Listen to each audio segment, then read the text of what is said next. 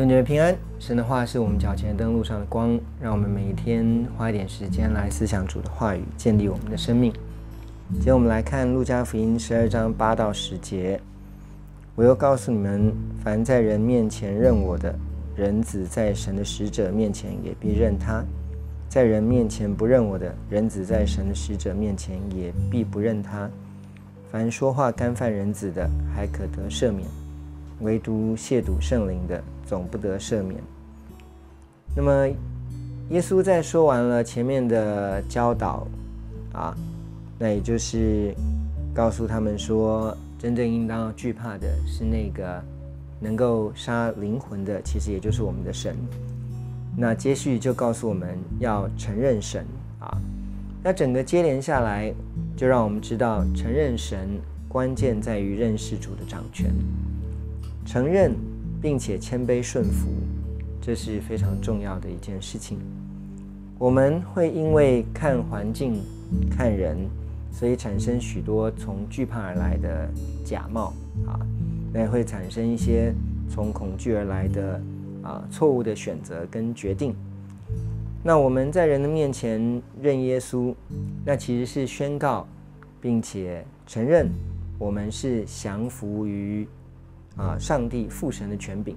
不是这个世界的权柄。我们也不是降服在这地上的任何一个人，并且我们也知道我们与上帝与神之间的关系，我们确实是需要建立在承认、认同的基础上面。那认同在原文也含有。与他联合的意思啊，那就像一个人虽然是父亲，但是如果啊他的儿子不承认，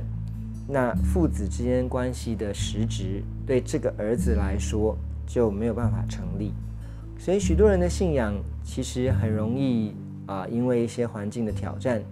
碰到逼迫，碰到艰难，就不再相信，不再承认了。那么人如果真的要不信，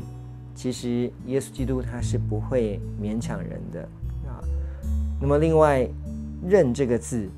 在希腊原文是 homos 以及 logos 的复合字。那 homos 是在同一个地方，logos 是道，所以认耶稣真正的意思就是与主的道同在。也就表达不只是在遇到逼迫或是困难环境的时候承认耶稣基督的名，乃是承认他所说的话，他所说的道，并且真实的让自己与神的话语同在，也就是让主的道像种子一样种在我们的里面，然后让这道能够开始成长，让我们的生命按着神的话语去遵行，以至于能够结出圣灵在我们里面所动工的果子。那到了第十节所说的亵渎圣灵，原文是重伤、毁谤、怒骂。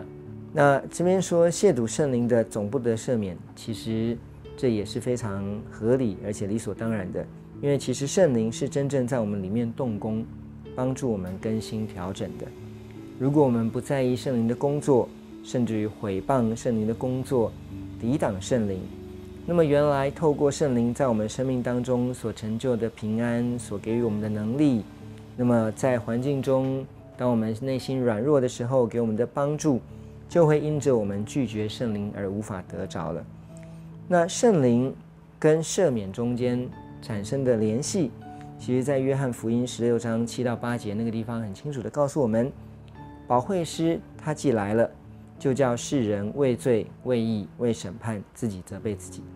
所以圣灵作用在人的生命里面，在我们的心中，一个很重要的一个果效，或者说功能，就是让我们的心被光照，让我们能够为罪、为义、为审判，自己责备自己。所以，如果我们拒绝圣灵的工作，或者是碰到一些事情，那其实圣灵会用微小的声音提醒我们：我们如果拒绝他，甚至于。啊啊！认为这是出于恶者的工作，那么赦罪的恩就会因着